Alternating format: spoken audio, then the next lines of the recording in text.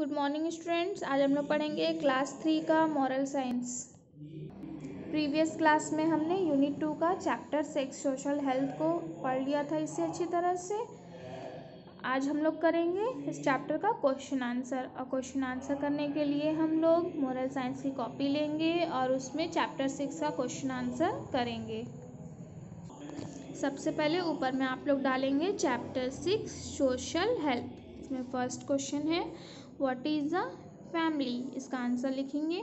A family is a group of people with whom we live all these people are the family members question number two how should parents help the family इसका answer है first point our parents help us to learn many things. Second point, our parents look after us when we are sick. Point third, father earns money for the family.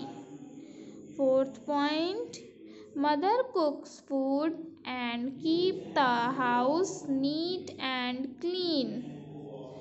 Question number 3, what do you mean by social relation? इसका answer है the process of establishing emotional connections with others, starting from birth, which are based on trust. Question number four, how should we help our parents?